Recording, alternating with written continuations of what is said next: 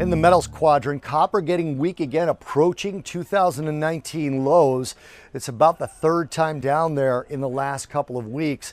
And then we have the January 2019 right around that same level, about 252, hit about 253 today, down almost a percent.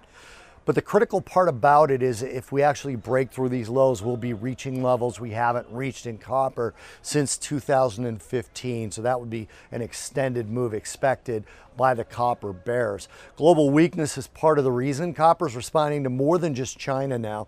We got PMI numbers out of Germany and France yesterday uh, in the overnight session, and Germany responded a little bit stronger on the headline number. But when you looked behind those numbers, we had weakened uh, industrial demand, we had weakened manufacturing detail, we had weakened inventory numbers. All those figures were weak. France was a little bit better, but again, overall, the EU is well below 50 on those numbers. And then we got the same thing here in the US. We didn't really get any China news. So copper, while it always responds to Chinese data, is responding to more than just that and extending its weakness. Then we had an early dollar rally, which helped that copper weakness. That inverse relationship between the dollar and most commodities certainly affects copper.